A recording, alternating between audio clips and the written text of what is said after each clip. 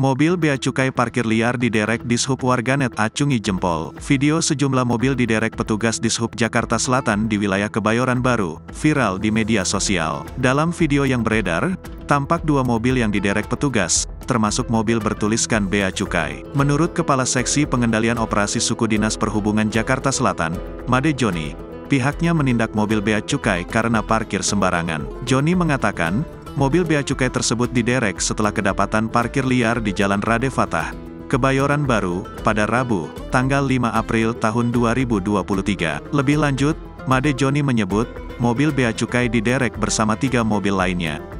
Bayar retribusi sesuai Perda nomor 1 tahun 2015, tentang retribusi, itu udah bayar 500 ribu rupiah, ujarnya. Dijelaskan Joni, Jalan Fatah, Kebayoran Baru, Jaksel merupakan kawasan dilarang untuk parkir.